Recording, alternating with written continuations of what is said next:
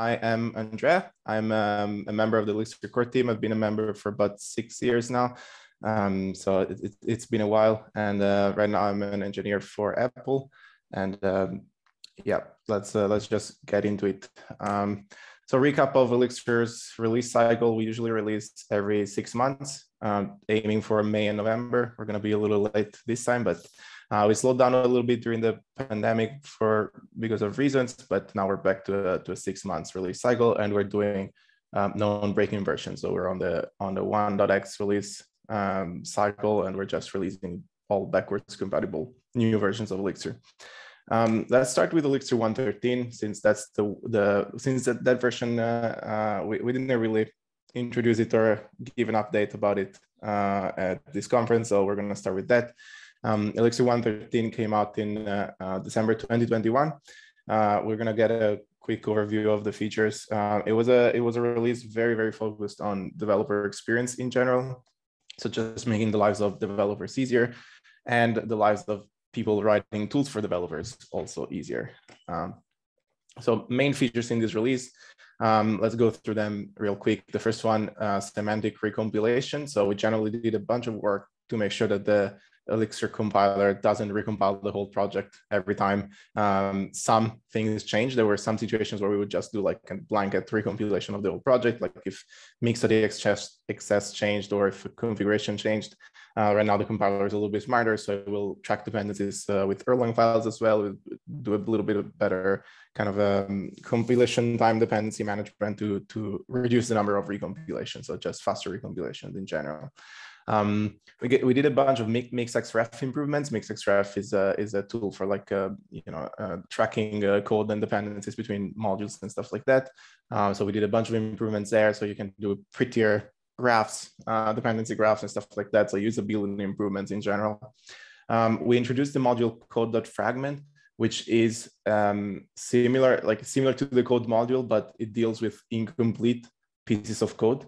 Um, so this is very useful for, for tooling because it can understand partially uh, like un- unparsable pieces of code that are just partially uh, finished essentially.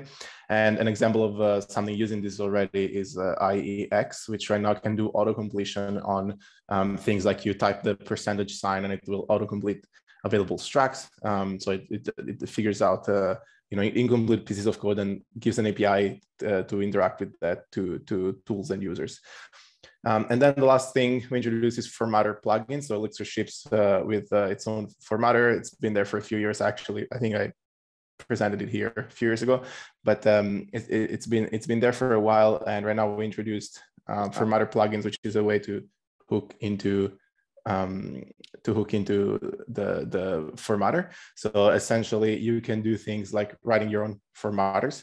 Um, this is an example of a Markdown formatter that uh, can format sigils, so that the content of sigils as well as files with given extension. So you have you can write whatever formatting logic you want, um, and then you just add the plugin to your formatter, and it will you will be able to to format different things that are not Elixir code, but just just with plugins. And this is being used already by, for example, HEEx and in Phoenix Live View, where you can uh, format this uh, HEEx HTML essentially. Uh, you just run mix format. They they wrote the for, uh, plugin and it formats the code for you. So uh, a lot of usability improvements in general, um, tooling and developer experience. That was the that was the focus of that release.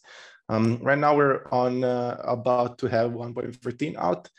Um, the idea is to release it in June 2022 um, with the RC coming out in the next few days or a couple of weeks, hopefully.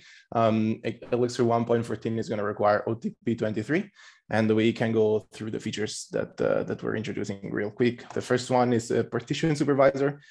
Um, so this is a new module in Elixir 1.14, and it's going to be um, uh, it's, it's going to, to make it better. Uh, it's going to make it easier to, to deal with some some scalability issues around uh, process architecture, essentially. Uh, so sometimes uh, we have processes in our application that can become bottleneck processes, usually because they are singletons operating for the whole application. So imagine you have like a supervisor, like your application supervisor, and you have a, a single process that's that that all the application talks to. It could be like a dynamic supervisor for for something, or it could be like you know any global process. If that process's state can be partitioned easily, like it's the case usually, for example, with the dynamic supervisor, where the, the state is just a bunch of processes that it's supervising, then that's where partition supervisor comes in.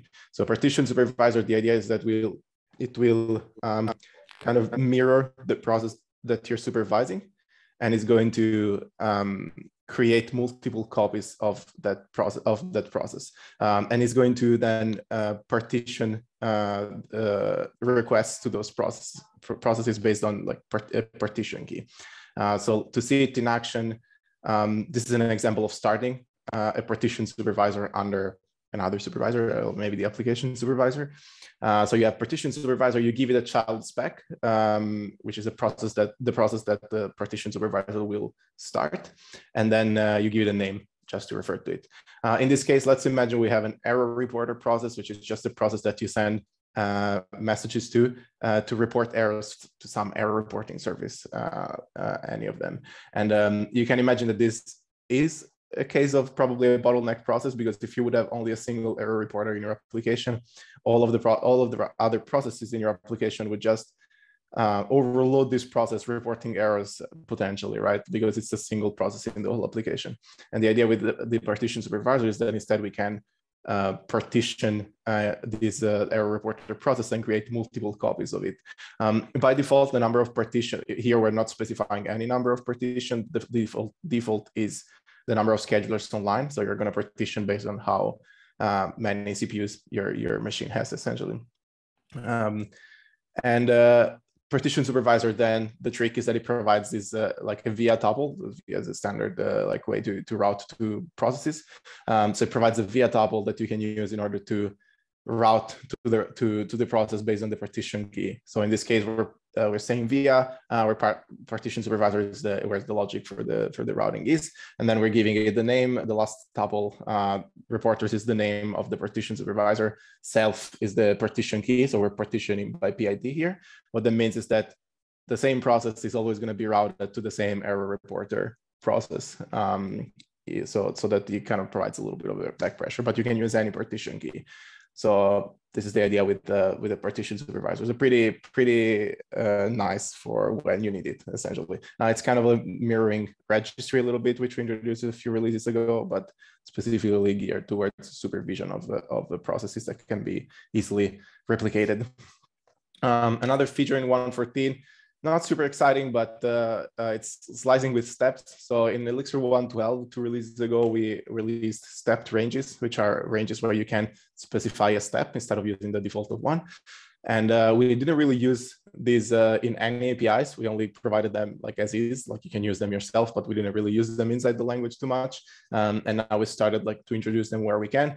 One example is enum slice, which you know slices a given enumerable based on the range, and now that that supports steps. So it's it's understanding what it's doing when it comes to steps. So here it's taking like every element. Um, every second element starting from the from the uh, second to the fifth, basically. Um, so it understands the steps. Uh, this is not the, the sort of APIs that you use a lot in day-to-day Elixir programming, I would say, but uh, they are quite uh, useful when working with numerical uh, data, with uh, matrices and vectors, which is what happens a lot in numerical, numerical Elixir and Nx. So that's where these APIs really kind of shine a little bit more.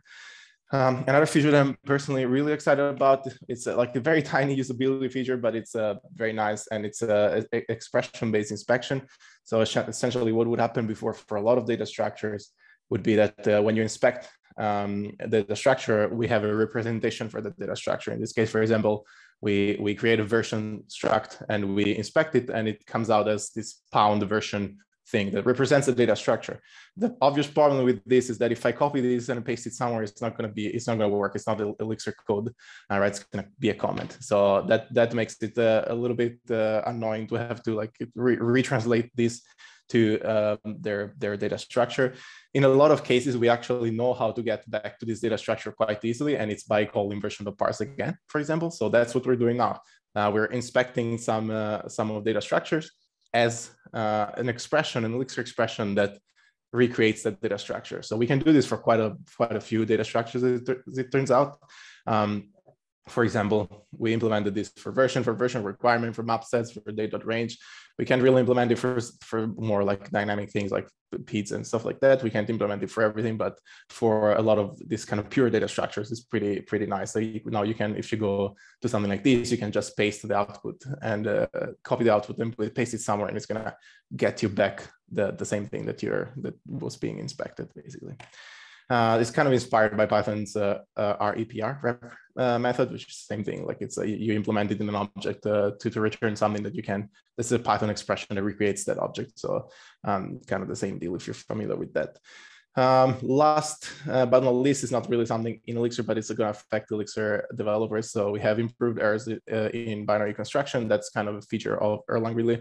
Um, there was released in OTP25 as part of the uh, Erlang Enhancement Proposal 54. Uh, and it just like, it's, it's, it's much better usability around using the, the, you know binary concatenation and stuff like that. So for example, here you can see what happened uh, before, which is that if you try to concatenate something that's not a binary with a binary just gives you an argument error, which is quite you know hard to debug and hard to follow. Um, right now, it's gonna give you a much better error message where it says like what's wrong, where where is wrong, what what the data involved is, and it's much easier to debug. Um, so yeah, lots of uh, uh, not not not very many uh, new features, but uh, that's uh, language is pretty mature. So we're um, working away at like just making developer experience better and and uh, um, tweaking things and polishing things. Uh, if you have any questions, uh, reach out on the website or reach out to me personally on Twitter or uh, wherever you can find me there. And uh, I think that's uh, that's it for me.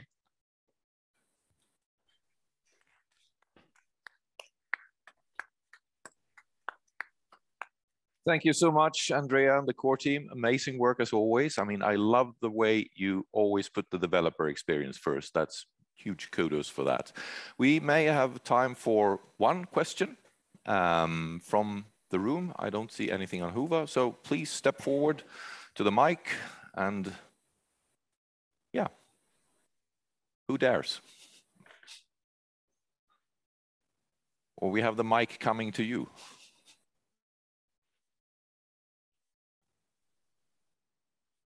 Yes, what does the roadmap look like for uh, version 1.15? 1.15, I, have uh, no idea. This is so we're focused on 1.14, so we're gonna we're gonna get there once we release 1.14. Uh, in general, like I can tell you that the common theme uh, uh, in in the last few releases that is that there's there are no huge things coming because the language has been quite stable. So we're we're working on a lot of like yeah what we can improve is uh, usually around developer experience and like around like better better tooling and uh, and stuff like that. So it's a good sign i think that the like elixir provides enough tools for the ecosystem to build cool stuff on their own without the having to change the language essentially. That's my that's my take. Awesome. Um, thanks again andrea. Uh, big hand